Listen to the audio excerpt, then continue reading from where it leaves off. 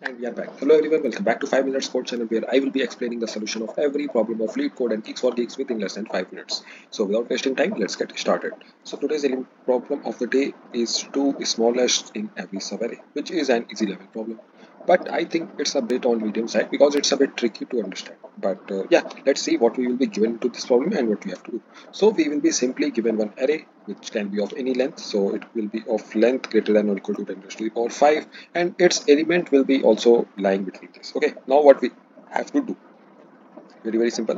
What we have to do? We have to return the sum of smallest and second smallest element and we have to return the maximum sum like find all the combination all the subarray sums and uh, return the maximum sum okay? So max subarray sum not. All the subarrays we have to consider in which we have to find the sum of smallest and second smallest element and uh, the answer should be maximum okay? So if we will given see this test case then the solution will be more clear. So if i will take like one element subarray it's not it's like no use. So i will skip that because if it is one so i will simply return minus one okay. Because second is smallest and smallest it need two elements at least. Okay. I will first of all go to 4 3 so smallest is what 3 and second smallest is 4 so sum is 7 and if i will take 4 3 1 okay. 4 3 1 look very carefully. So here smallest will be 1 second smallest will be 3 so total sum is 4 you have to find like uh, all the subarrays and uh, you have to find the smallest and second smallest element okay i think the problem statement is now clear. It's a bit tricky so that's why i'm explaining it again. Okay so yeah you have to return the maximum sum. Like all these uh, sums are uh, like the possible combination of subarrays and their smallest and second smallest elements and uh, yeah so we have to return the maximum sum. Maximum sum is 11 okay all right. Now you will be thinking i will do a brute force i will consider all the subarrays and then get the solution and get the answer. Yeah but it is 10 raised to the power 5 so we cannot consider n square. We cannot take n square time complexity. In fact, we can do it in big O of one time complexity. Big O of one space and big O of n time complexity. Okay. So yeah, let's see how we can do this. Very, very easy.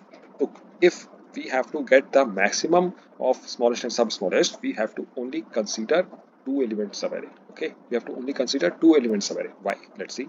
So here you can see 1 5 6 if look my answer will be 5 6 because it is the maximum. But if at any point i will consider 1 5 6 3 1 5 6 4 3 1 5 6 there you can see that if i'm taking at any point more than two elements more than two elements let's say three elements if i'm taking at any point our sum will not be maximum in that case. Why? Because let's say i have elements 1 3 2 or anything 1 3 2 1 okay. Now see if i will take any three elements of array 1 3 2 3 2 1 in that case our smallest and second smallest sum will be 3 because 1 and 2 here it will be 1 and 3 here it will be 1 and 2 which is not maximum. I have to only take two two elements of array and uh, like uh, compare with the maximum and at last return the maximum of them. So we have to only consider two elements of array i think that's also clear to you all. So yeah i think now you can write the code. Very easy it is but uh, let's see how i going to write it. Very simple. I will take int max equal to 0 and first of all I will check if arr dot length is uh, less than 2 so we will simply return minus 1 I will be making this as small. And otherwise what I will do for int i equal to 0 i is less than arr dot length minus 1 i plus plus.